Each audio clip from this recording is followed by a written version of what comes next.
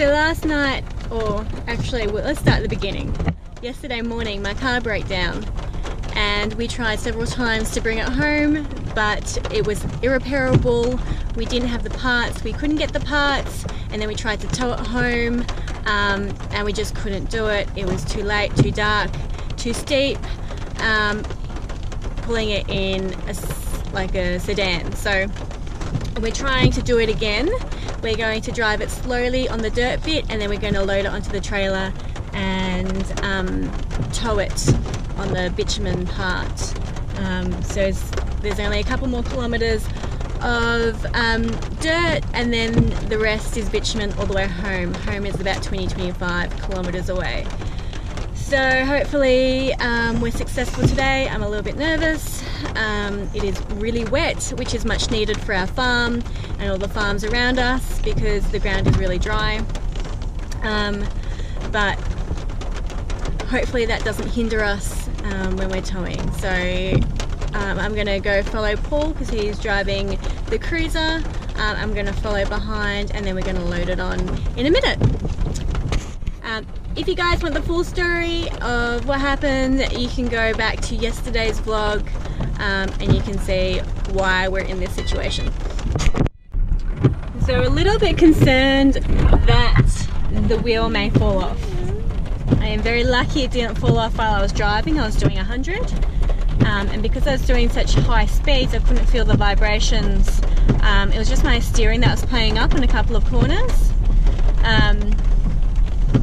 I was I was really lucky that I pulled over when I did because if I had gone much further, I reckon I would have been in a car with three three wheels on its roof. Um, so that's a little bit scary, but um, yeah, glad it's all okay. Just hoping we can get it home. It's a fairly easy fix. Paul's done it before. Um, bearings go in these sorts of cars all the time and it's a constant four-wheel drive so you know there's a bit more wear and tear than a regular four-wheel drive has. Um, so yeah it's an easy fix. We've got all the parts.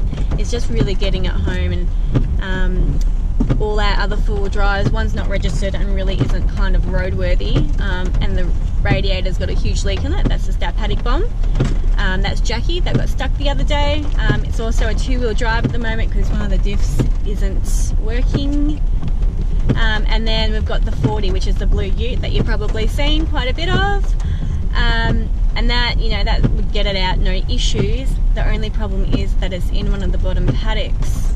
And with all this rain, we can't get um, it out. So the plan was to bring the blue ute and I'll follow behind in this just to make sure all was okay. Um, but um, we just couldn't get it out.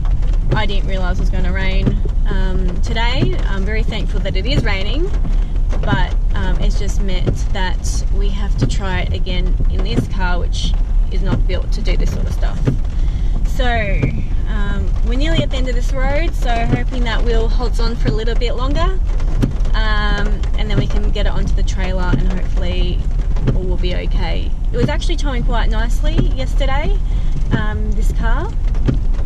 It was just um, when we are going up a dry um, dirt hill, the rear wheels kept spinning, but the rest of the road is bitumen from the end of this one. So um, we shouldn't have any issues with spinning wheels. We'll just take it real easy. We're on the back roads. We shouldn't see any other cars. Um, we just want to get home safely, really. That's that's our mission at the end of the day. We'll drive it um, down our street because that's dirt as well. So Paul will drive that because um, he's better at doing this sort of stuff than I am. Um, yeah, and then I don't know how um, or if I'll be able to get this up the got a big hill, dirt hill, but he reckons I should be fine. So this is only my second time driving with a trailer and it happens to be the really big car trailer this time. First time was just the camper trailer so that was all good. That was easy. Okay, I'm to turn this off and I'm to keep concentrating on the road. I'm only doing about 5 kilometres an hour so I'm not really going fast at all. Otherwise I would usually be holding the camera. okay, see you guys. This bit's the bit I really, really hate. Loading it on. Because it's so heavy, the tail, trailer and the car tip up a bit. It's just gotta suck it up a bit.